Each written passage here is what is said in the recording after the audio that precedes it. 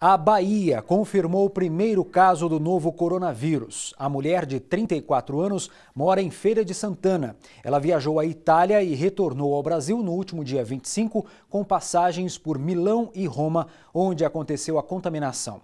A paciente encontra-se em casa com orientação de permanecer em isolamento, adotando as medidas de, de precaução, aliás, de contato e respiratório.